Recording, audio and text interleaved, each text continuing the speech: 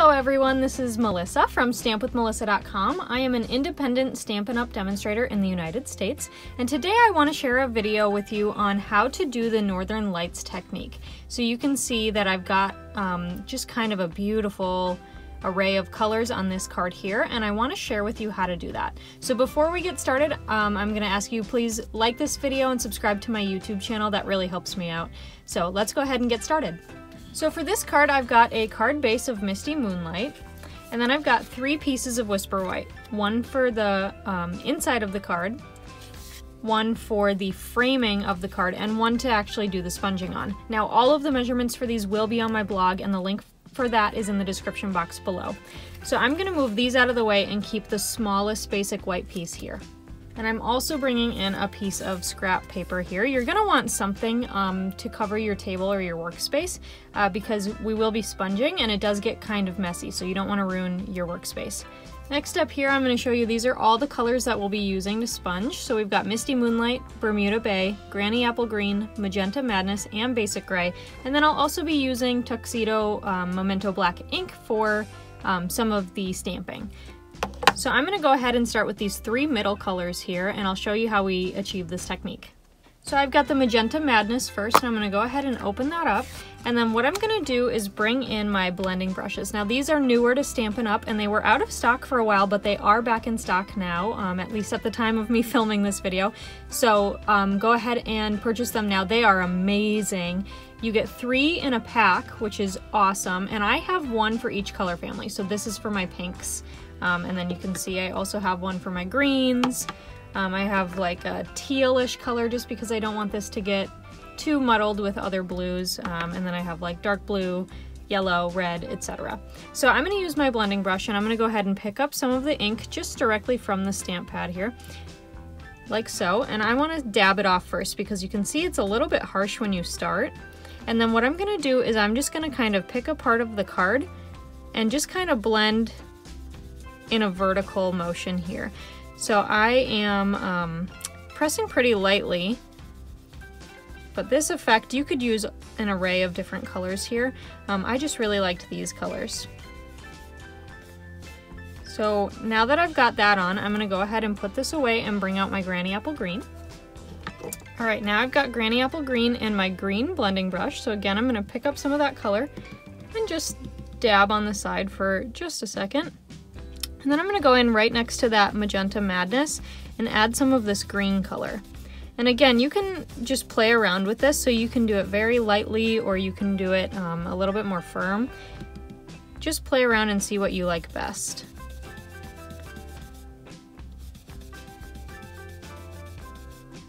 All right, now that I've got that green on there, I'm gonna do my Bermuda Bay. All right, my Bermuda Bay is opened and I've got my teal blending brush.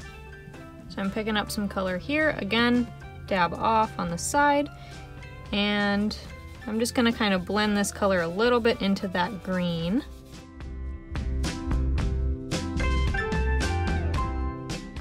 And so then I'm gonna bring in my Misty Moonlight,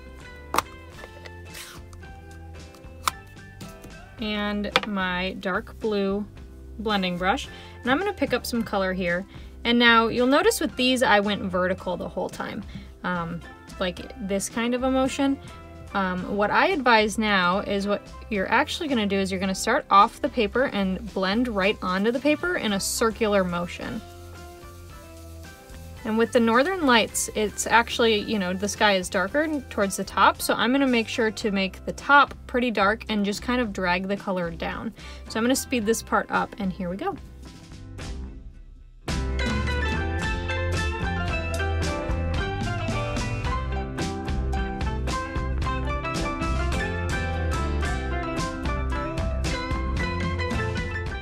Okay, so now that I've got that sponged here, I'm not gonna add any more ink, but I'm just gonna very lightly go over the top of where I added the other color, just to kind of pull down some of that. And I am not pressing hard at all, which is why I'm holding the handle back here. But I just kind of want those colors to blend a little bit. So that's done, so I'm gonna go ahead and remove my Misty Moonlight. And then I've got my basic gray here, and I'm gonna go ahead and open that up and bring in my gray blending brush.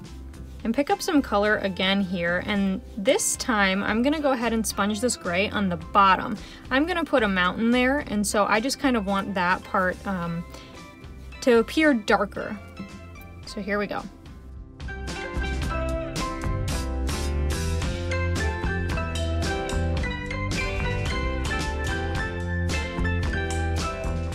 Isn't that such a fun technique?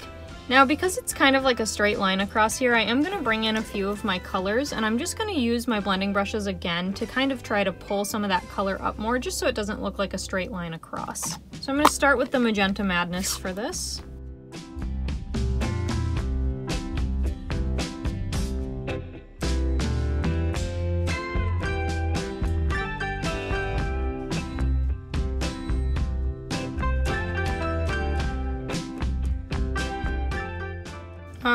And isn't that so fun? That is just, it turned out so beautiful. It is such a fun technique. So now I am using the Mountain Air stamp set and I'm going to be using the mountain image and then also this tree image for the inside. So I've got the mountain image ready to go and we're gonna go ahead and stamp it down here with the Tuxedo black ink. All right, so I've got the mountain here, got my black ink here, and I'm gonna go ahead and ink this up like so, making sure it gets a good inking there. I'm gonna grab it, and I want these mountains, you can see that they don't really have a flesh bottom, um, and I do want them to have a flesh bottom on the card, so I do need to go down a little bit, and you can see I left my scrap paper here, and I'm just gonna go ahead and ink that down right there on the bottom of the card. Oh, look how pretty that is! Okay, so on the original card here, you can see that there are some white spots around here to um, resemble the stars. And you can also see there's a little bit of white on the mountains to show the snow. So the way I did that was with the um, white chalk marker from Stampin' Up. So I'm gonna show you how to do that now. So to start, I've got the chalk marker open and I'm just gonna do little circles just every so often on the card. And I know I'm going to put a sentiment here, so I probably won't put a lot of stars there.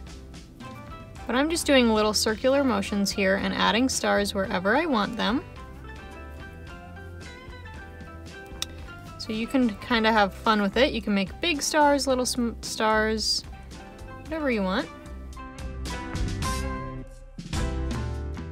All right, so then what I'm gonna do is you can see there's in the um, panel here, there is some darker spots and those are um, the shadows of the mountain. So in the lighter portions, I'm just gonna kind of scribble around some of the white. You don't have to be too careful with this um, and you might lose some of the black marks in the stamp, but that's okay.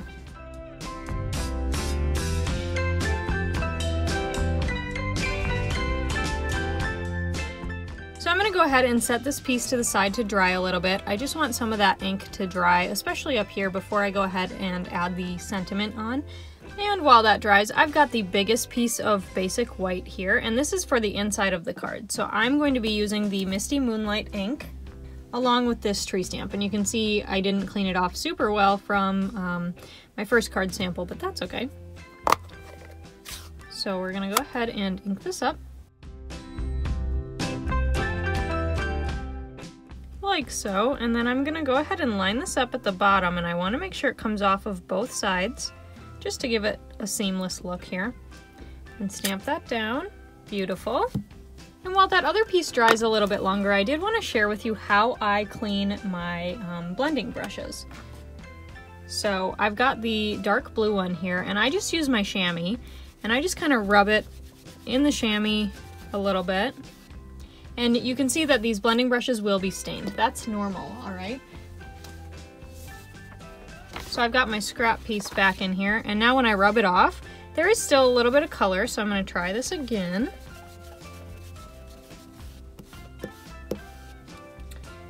And then you can see there's still gonna be a little bit of color, but it's a lot less than it was before. So that's how I clean my blending brushes. All right, now that those are all clean, I've got my piece back in here and I'm gonna bring out my Versamark, my white embossing powder, which I store in this little Tupperware container. Then I'm also gonna bring out my embossing buddy. Now Stampin' Up! doesn't sell the embossing buddy anymore, Um, they had it for a long time, but when you buy an embossing buddy, you really don't need to buy a new one for a while, so I think they had low sales, so they discontinued it, but I'm sure you can find it on Amazon or at a local craft store. Um, but this is important because there's already been ink on the um, paper. You want to make sure that there is no static, and the embossing buddy removes that static for you. So that's why I'm just going to rub it on that top right corner there. I'm to put the embossing buddy away. And the sentiment I'm using is from this Color and Contour stamp set, which is coming up on May 4th. It'll be available to customers. Um, and I'm using this You're Absolutely Amazing stamp set here. Now, I want these cards to be good for any occasion. Um, otherwise, this would be a beautiful birthday card. So I'm to go ahead and open up my Versamark here and ink up that sentiment and stamp it right down in the top corner there. Then I've got my Tupperware here. I'm going to go ahead and open this. You can see all my white embossing powder. I'm just going to pick up some powder with a spoon, put it right on top of that sentiment, and look at how nice that turned out. Then I've got my heat tool here, and I'm going to go ahead and uh, get the sentiment all heated up.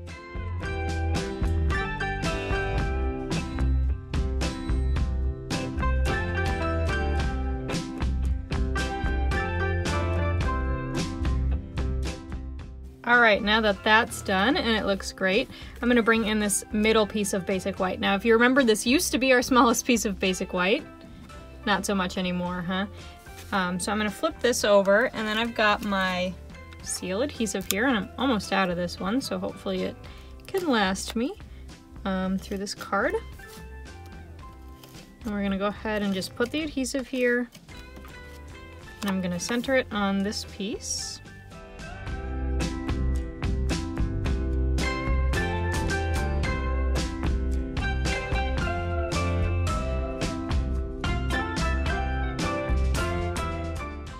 Alright, and then if you know me, you know that I always like to use my bone folder to give that a good crease. So there we have it. Isn't that so adorable? Let me bring in the original here too. So you can see on the original I have a bigger border um, and on this one I have a smaller border. So let me know which one you like the best in the comments below, although they're pretty similar. So thank you so much for watching today. Let me know down in the comments too if you've ever actually seen the Northern Lights in person. I have not. It's on my bucket list, so maybe someday. Um, maybe I'll just have to go to Alaska in the summer. I think they have pretty good chances to see it, and that would be awesome. It would be absolutely amazing to see the Northern Lights in person. Um, but thank you so much for watching today. Uh, if you like this video, go ahead and um, give me a thumbs up, and then go ahead and subscribe to my YouTube channel. That really helps me out as I try to um, grow my viewing so I can do more um, videos for you. So thank you so much. Again, the measurements for everything and pictures are in my blog post. Um, and you can find the link to that down in the description box below, as well as links to shop my online store if you're in the US, and links to contact me. And feel free to send me an email if you'd like a, a catalog. I send them out for free, so just let me know you want one. Uh, thank you so much, and I'll see you next time. Bye!